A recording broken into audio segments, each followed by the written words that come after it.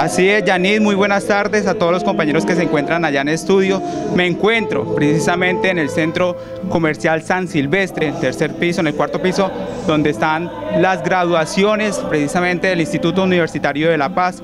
Y quiero saludar precisamente a esta hora, muy buenas tardes, al rector del Instituto Universitario de La Paz, Oscar Orlando Porras, quien nos contará acerca de estas graduaciones. ¿Cuántos estudiantes precisamente se están graduando en el día de hoy? Hola, buenas tardes, un saludo para todas las personas que se conectan y que nos ven en este momento.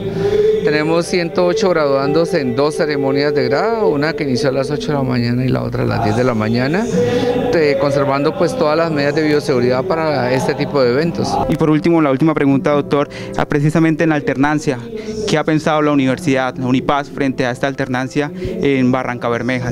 Nosotros ya tenemos alternancia desde el año pasado, en noviembre y diciembre implementamos alternancia para 109 estudiantes de medicina veterinaria y zootecnia e ingeniería agroindustrial.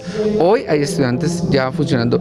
La segunda fase de la alternancia es la que estamos haciendo planeación para poder regresar los estudiantes a las aulas de manera gradual, responsable, segura, sobre todo porque tenemos que salvaguardar la vida no solo de los estudiantes, sino también de los profesores y de todos los eh, miembros de la comunidad universitaria de UNIPAS.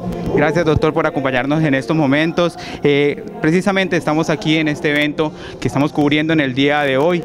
Como lo ha dicho el doctor, la alternancia ya ha llegado aquí a la Unipaz con diferentes carreras universitarias. Sigan ustedes con más información allá en estudio.